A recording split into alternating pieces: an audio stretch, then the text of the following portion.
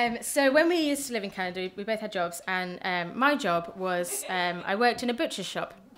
I actually had a really good time there. I loved it. And my first job when I when I arrived uh, was to make sausages because they'd make loads of sausages, and um, it was all done handmade by a machine. You, you crank it around and pull them out.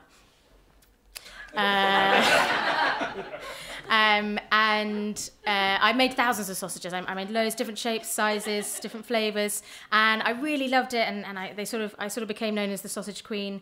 And when when new people came in, I would get to teach them how to make the sausages, and um, it was really good. Sometimes they paid me in sausages, and I, I just had the best time.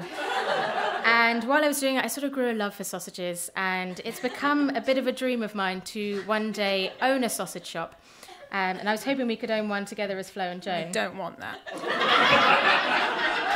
and I could work out the back making the sausages, and Nicola could sell them out the front with no. a badge that says Sausage Mistress. Absolutely not. Um, and we wrote this next song together. You wrote this next song. Um, that I was hoping we could play through the tannoys when people come in to buy our delicious sausages.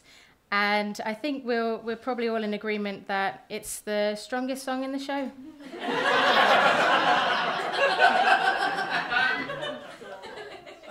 Ha ha ha ha.